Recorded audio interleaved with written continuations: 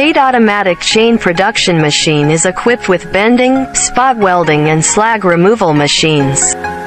It can produce chains of different specifications from 3 mm to 30 mm in diameter.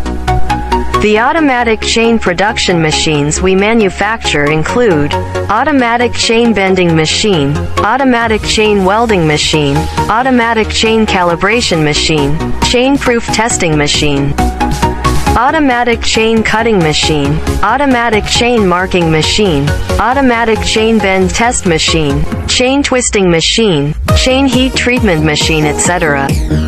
Reduce costs with factory direct sourcing. Subscribe to our channel for more machine info.